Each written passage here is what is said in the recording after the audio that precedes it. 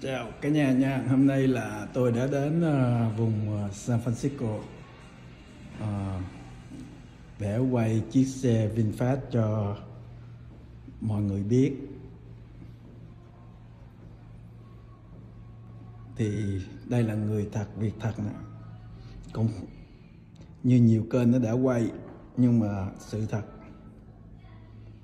khi đến đây mình mới ngỡ ngàng rất là ngỡ ngàng. Việt Nam mình đã thành công trong việc sản xuất một chiếc xe điện VinFast. Để tôi review cho mọi người biết là chiếc này là cũng như chiếc SUV là người ta nói là 200 bình điện 210 ngàn mai. Mà bán cái giá 46 ngàn. Đúng không? Mấy người coi body nè. Body nè. Mấy người thử mua chiếc xe Tesla. Mấy người lại gõ mấy cái body.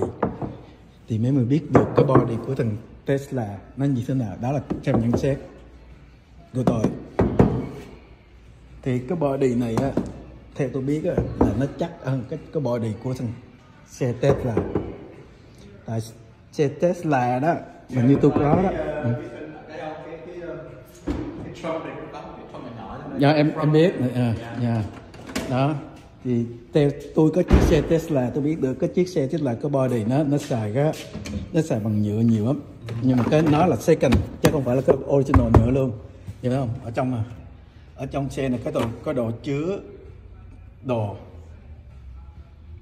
Cho những cái mình muốn đổ rồi đi chợ mua đồ để đây rất là tiện nghi đó. Đây là đây là chiếc xe Tesla. Còn cái chỗ này chỗ bình ắc quy phải không anh? Bình ắc quy đúng rồi. à, mình được thấy được cơ ờ, ngay đây cái này là cho À. windshield wiper Ờ, là đúng rồi. cái, cái, ồ quá hay. cái nước để Ờ.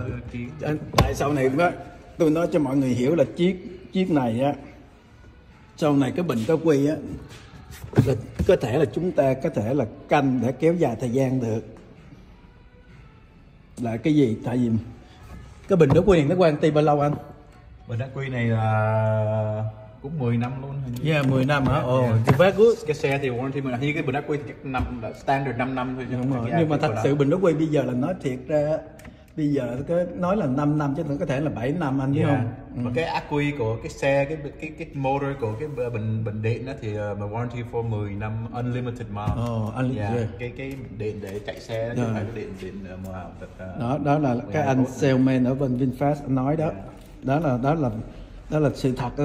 chứ còn mấy người mà lên kênh mà nghe cái review của những thằng mà kiếm cơm chống củi kiếm cơm đó hay beo xấu Việt Nam á đó tôi đã từng vạch mặt ra rồi chứ mấy người nó bên trong của xe VinFast mấy người thấy không rất là đẹp theo tôi thích theo tôi là là rất là đẹp no. No.